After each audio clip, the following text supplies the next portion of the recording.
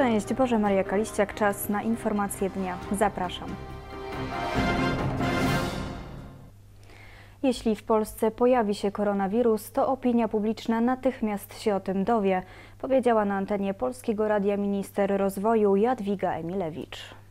Nowa ustawa Sejmu pozwala na łatwiejszą walkę z epidemią koronawirusa. Mimo, że opozycja ma patrzeć władzy na ręce, przebieg uchwalania dokumentu był zadawalający, mówi minister rozwoju Jadwiga Emilewicz. Praca nad tą ustawą była bardzo merytoryczna, bardzo konstruktywna, bez obrażania się wzajemnego i z dużym zrozumieniem e, sytuacji. Ustawa daje pewne specjalne prerogatywy administracji publicznej. Dotyczy to premiera, ministra zdrowia i ministra spraw wewnętrznych, którzy w sytuacji nadzwyczajnej będą mogli uruchomić specjalny proces postępowania w razie wybuchu epidemii koronawirusa w Polsce. Mówimy o, o, o przypadkach, pewnie musielibyśmy określać je procentem e, populacji. Póki co jednak w Polsce nie ma ani jednego przypadku zainfekowania chińskim wirusem. Jeśli w Polsce pojawi się przypadek, to opinia publiczna dowie się o tym natychmiast i odpowiednie służby i straże będą wtedy e, działać. Dlatego na razie, jak zaznaczyła Jadwiga Emilewicz, należy zachować spokój. Tutaj prosimy, naprawdę apelujemy i wszystkich aktorów na scenie politycznej o umiar w, w komunikacji. By epidemia wirusa nie zamieniła się w epidemię paniki. Europejskie Centrum do Spraw Zapobiegania i Kontroli Chorób ogłosiło, że poziom ryzyka w Unii Europejskiej związanego z koronawirusem wzrósł z umiarkowanego do wysokiego. Do tej pory na chińską infekcję zachorowało ponad 2000 Europejczyków. Koronawirus największe żniwo zbiera w położonej w centrum Chin prowincji Hubei. Od wczoraj liczba zainfekowanych powiększyła się o 125 osób, 31 zmarło. To stosunkowo dobre informacje, bo bilans jest nie tylko niższy w porównaniu z wczorajszym dniem, ale też najniższy od 21 stycznia. Chińska walka z koronawirusem rzeczywiście robi ogromne postępy. Sytuacja naprawdę staje się stabilna, rozwija się we właściwym kierunku, naprawdę się poprawia. W Europie najtrudniejsza sytuacja jest we Włoszech. Tam do tej pory zmarły 52 osoby, zakażonych jest 1835, wyleczono 149 chorych. Epidemia w Republice Korei, we Włoszech, Iranie i Japonii to nasz największy problem.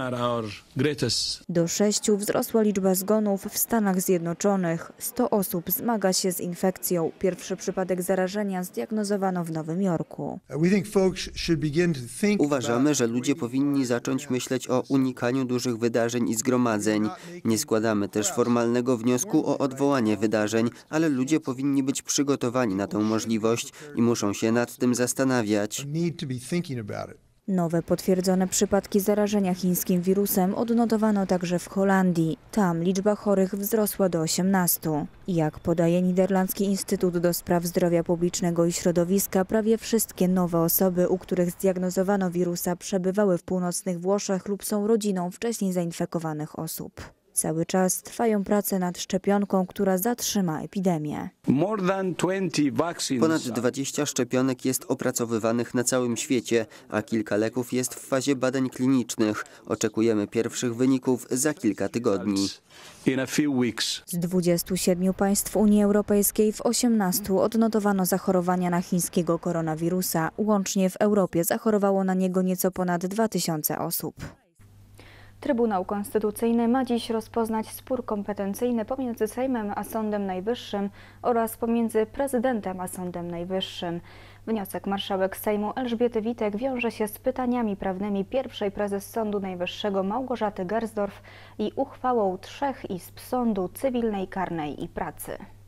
Wniosek marszałek Sejmu Elżbiety Witek został sformułowany pod koniec stycznia, dzień przed podjęciem uchwały przez Sąd Najwyższy. Marszałek zwróciła się w nim o rozstrzygnięcie sporu dotyczącego przepisów konstytucji, które odnoszą się do podziału władz i powoływania sędziów. Według uchwały Nienależyta obsada sądów jest wtedy, gdy w ich składzie znajduje się osoba wyłoniona przez aktualną Krajową Radę Sądownictwa. Przedmiotem sporu jest pytanie, czy Sąd Najwyższy może wydawać uchwały w związku z orzeczeniem Sądu Międzynarodowego, które wprowadzają zmiany w przepisach dotyczących ustroju i organizacji wymiaru sprawiedliwości. Marszałek zapytała też Trybunał Konstytucyjny, czy prerogatywa powoływania sędziów może być kontrolowana przez Sąd Najwyższy lub inny sąd, czy też jest to osobiste uprawnienie prezydenta. Jeszcze w styczniu Trybunał wstrzymał stosowanie uchwały. Sąd Najwyższy chce umorzenia sprawy ze względu na, cytuję, niedopuszczalność wydania orzeczenia. Dziś prawdopodobnie zapadnie decyzja w tej sprawie. O godzinie 10 powinno rozpocząć się posiedzenie Rady Ministrów. Pod obrady trafi m.in. projekt tzw. ustawy przemocowej, który przygotowało Ministerstwo Sprawiedliwości.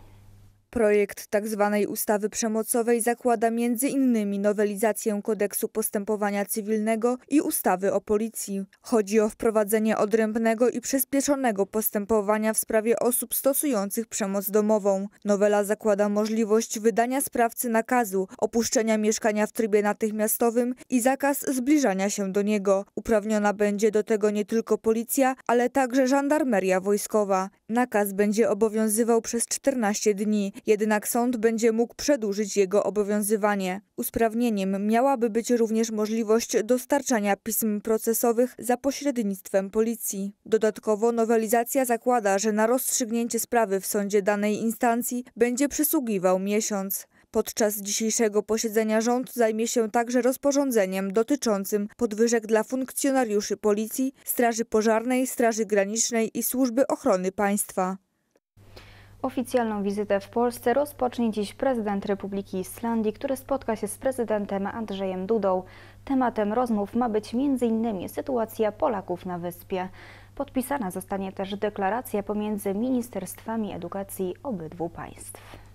Relacje dwustronne, w tym sytuacja Polaków na Islandii, czy współpraca w ramach Europejskiego Obszaru Gospodarczego oraz Sojuszu Północnoatlantyckiego. Na te tematy mają dziś rozmawiać prezydenci Islandii i Polski. W obecności obu prezydentów zostanie podpisana deklaracja pomiędzy Ministerstwem Edukacji Narodowej Polski oraz Ministerstwem Edukacji, Nauki i Kultury Islandii. Dotyczy ona nauczania języka polskiego na Islandii. Prezydent Duda i prezydent Republiki Islandii wezmą także udział w konferencji inaugurującej trzecią edycję Funduszy Norweskich i Europejskiego Obszaru Gospodarczego w obszarze środowisko, energia i zmiany klimatu, organizowanej przez Ministerstwo Klimatu. Pierwszy dzień wizyty zakończy uroczysty obiad w Pałacu Prezydenckim, wydany przez prezydenta Andrzeja Dudę na cześć islandzkiej pary prezydenckiej. Jutro z kolei prezydent Islandii wraz z małżonką odwiedzą Biuro Instytucji Demokratycznych i Praw Człowieka w Warszawie, a także złożą wizytę na Uniwersytecie Warszawskim. Następnego dnia para prezydencka Islandii uda się do Gdańska. Tam odwiedzi między innymi Muzeum II wojny światowej oraz Europejskie Centrum Solidarności.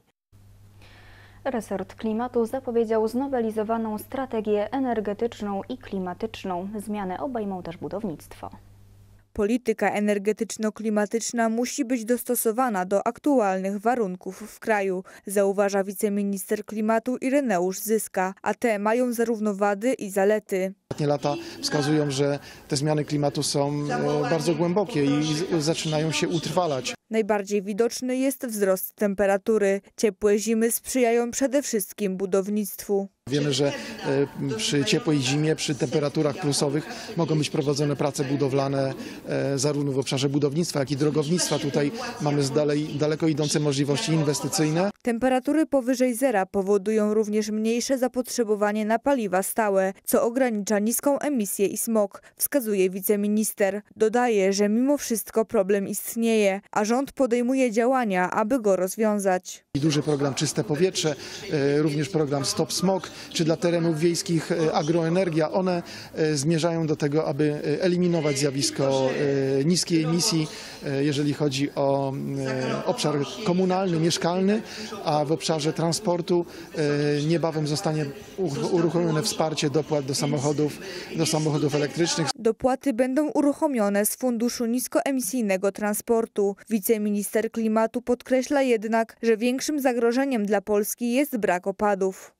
Gospodarka wodna jest, y, bardzo, jest kluczowa właściwie. Y, Kwestie też mniejszych opadów może mieć skutek funkcjonowania całego systemu, negatywny skutek dla systemu elektroenergetycznego, który e, jest oparty o chłodzenie wodą, zarówno w elektrowniach węglowych czy, czy w innych systemach ciepłowniczych, to, to woda odgrywa istotne znaczenie. Aktualizacja będzie dotyczyła m.in. polityki energetycznej Polski do roku 2040 i Krajowego Planu na rzecz Energii i Klimatu 2021-2030. Jak nie zniszczyć życia dziecka to tytuł sympozjum, jakie ma miejsce w Wyższej Szkole Kultury Społecznej i Medialnej w Toruniu. Spotkanie organizowane jest w ramach wiosennej sesji Apostolstwa Trzeźwości. W dzisiejszym świecie obserwujemy wiele niebezpieczeństw, które zagrażają dzieciom i młodzieży. Alkohol, dopalacze, narkotyki to tylko niektóre zagrożenia, na jakie narażeni są młodzi ludzie. Z tym wiąże się ogrom cierpień, z tym wiąże się wiele przegranych szans, wiele przegranego życia, wiele utraconych nadziei, jakie w sercach noszą dzieci. Zagrożenia te wpływają na duchowy i emocjonalny rozwój dzieci, mówi ksiądz biskup Tadeusz Bronakowski, przewodniczący zespołu Konferencji Episkopatu Polski do spraw apostolstwa trzeźwości i osób uzależnionych. Bo właśnie to uzależnienia prowadzą do utraty wiary, prowadzą do osłabnięcia wiary, prowadzą do licznych grzechów.